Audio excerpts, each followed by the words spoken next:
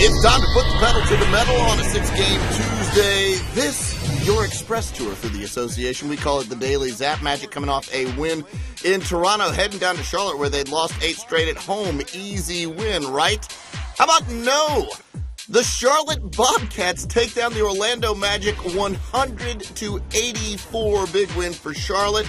Atlanta on the road in Indiana. The Pacers coming off a loss against the Chicago Bulls, and they would lose at home to Atlanta. Their four game home win streak is snapped. Atlanta goes into Indy and takes it by 5 101 to 96. Josh Smith 27 and 9 in the win.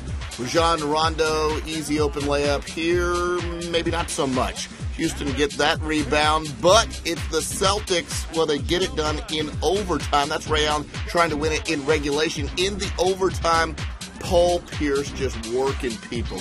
He had a big night for the men in green, 30 points on the night for Paul Pierce. The Celtics defend their home turf 97 92. Chris Bosh is back. He missed three games. He was attending his grandmother's funeral, and you could tell the Heat missed him. He was terrific. LeBron did very well as well, including that half court shot. The Heat just blow out the Nets. LeBron 21, Chris Bosh 20 in the win. Detroit at home, facing off against the hot Los Angeles Lakers, and Rodney Stuckey had a huge game. This is Kobe Bryant at the end of regulation to tie it and send it into overtime, and Kobe pure on that jumper right over Tayshaun Prince. But just too much Stuckey, too much Tayshaun Prince. Too much Detroit down the stretch in the OT. Detroit.